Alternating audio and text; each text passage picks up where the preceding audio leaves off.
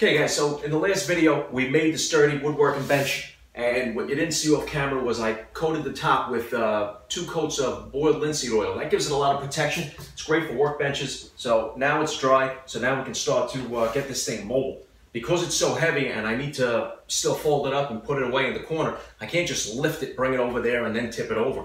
But what I found was a great solution.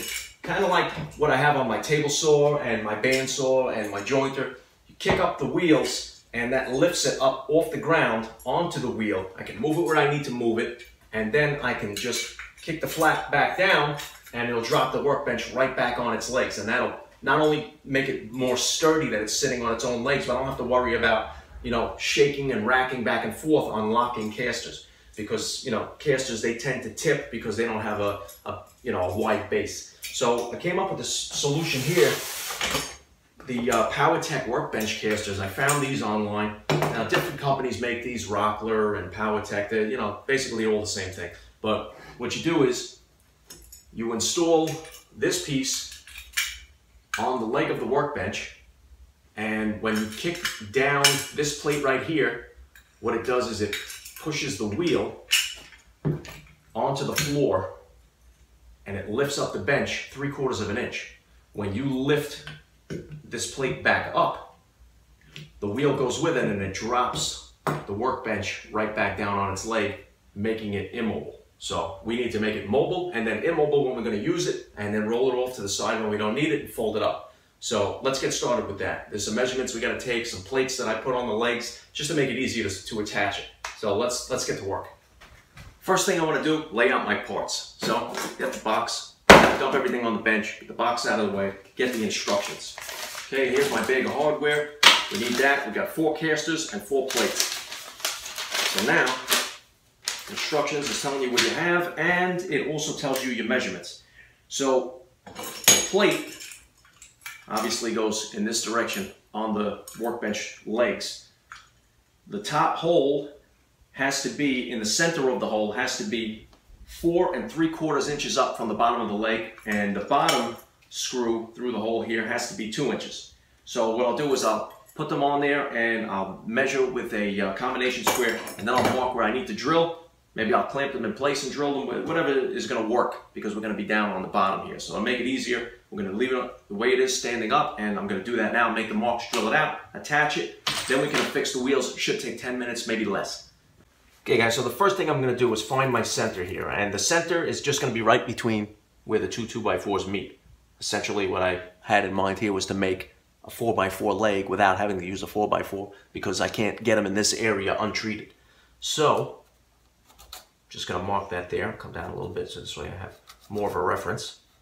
And that's my center. Now, what I need to do is the hole needs to be 4 and 3 quarters.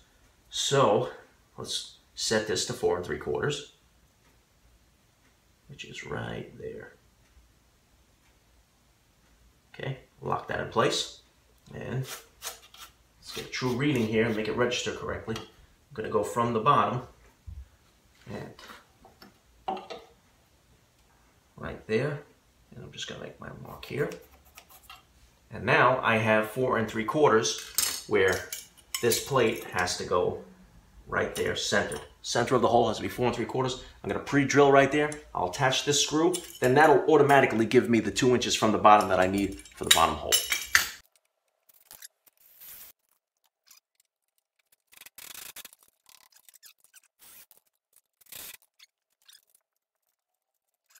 Tighten it up, and then essentially the idea, as you step on this, it will lift the bench three quarters of an inch up onto the wheel, be able to roll it. So let me tighten this up. I'll do the other three and we'll give it a test.